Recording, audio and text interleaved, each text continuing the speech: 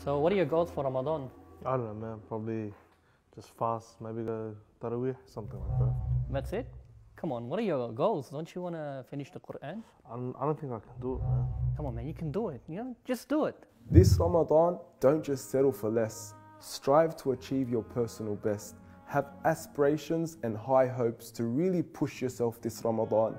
The Prophet ﷺ, he says, فَإِذَا سَأَلْتُمُ اللَّهَ فَاسْأَلُوهُ الْفِرْدَوْسِ If you're going to ask Allah, ask Him for Firdaus, the highest level of Jannah.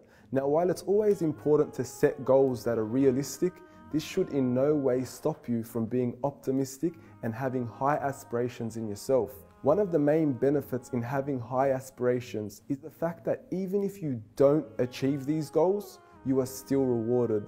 The Prophet ﷺ, he says, فَمَنْ هَمَّ بِحَسَنَةٍ فَلَمْ يَعْمَلْهَا كتبها الله له عنده حسنة كاملة. Whoever has an intention to do a good deed, but for some reason he doesn't actually perform the deed, Allah subhanahu wa ta'ala will write for him a complete deed. This is the reward you get for simply having a goal, for simply having an aspiration to achieve something high this Ramadan. So set your goals up high and revive Ramadan.